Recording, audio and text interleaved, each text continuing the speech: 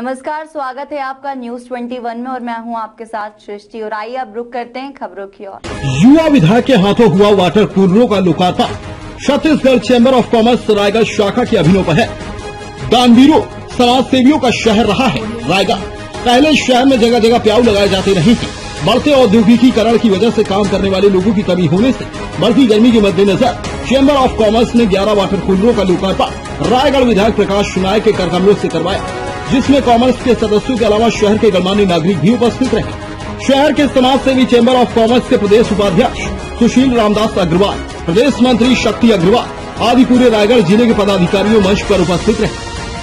Chamber of commerce के प्रदेश उपाध्यक्ष सुशील रामदास अग्रवाल ने अपने उद्बोधन में कहा कि वाटर कूलर लगाना बड़ी बात नहीं है, लेकिन वाटर कूलर दान करने और लगाने के बाद उसकी देखरेख करना बड़ी बात होती है।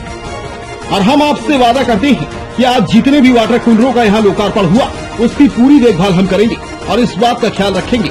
विधायक प्रकाश नायक ने भी चैम्बर ऑफ़ कॉमर्स के इस कार्य की सराहना करते हुए कहा कि आप लोगों ने जो वाटर कूलर लगवाने का निर्णय लिया, वो काफ़ी सराहनीय कार्य है, क्योंकि पानी पिलाने से बड़ा कोई पुण्य नहीं है। और मैं भी इसमें सहभागिता निभाकर स्वयं को गौरवान्वित महसूस कर रहा हूँ।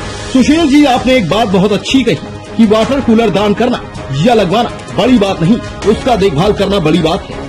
जिससे लोगों को समय समय पीने के ठंडा पानी मिलता रहे। रायगढ़ से ब्यूरो चंद्रकांत शर्मा की रिपोर्ट। कार्यक्रम बेसिकली 11 वाटर कूलर का लोकार्पण था। इस रायगढ़ एक ऐसा शहर है, बढ़ते तापमान के कारण 45 डिग्री से ऊपर का तापमान इस शहर में रहता है। ठंडे पानी की निहायत आवश्यकता थी। आम लोगों के लिए ठंडा पानी कुछ साल पूर्व नसीब भी नहीं होता था। लोग होटलों में जाते थे, ठंडे पानी की चाह में कुछ नाश्ता उनको लेना पड़ता था, तब जाके उनको ठंडा पानी मिलता था। उसी सोच से हम लोग पहले रोटरी क्लब से आगे बढ़े, उसके बाद आज छत्तीसगढ़ चंबर ऑफ़ कॉमर्स की तरफ़ से हम लोग आज 11 वाटर का लोकार्पण करने जा रहे हैं। और मेरा ऐसा मानना है, इस पूरे प्रदेश में जितने वाटर कूलर, तरह तरह की विभिन्न संस्थाओं ने रायगढ़ में लगाए हैं, इतना किसी शहर में भी शायद वाटर कूलर लगे। किस एरिया में जाएँगे ये करीब करीब हम लोग पूरे रायगढ़ को कवर करेंगे। इस वाटर कूलर लगाने की खूबसूरती ये रहेगी, ये किसी के अप्रोच में नहीं लगाया जाएगा। जहाँ पर ज़्यादा से ज़्यादा पब्लिक आएगी, बाहर के लोग जहाँ ज़्यादा से ज़्यादा आएँगे, जिस जगह पे, उस जगह को चिन्हित करके ही हम लोग लगाएँगे और 11 एरिया में अलग अलग लगाएँगे।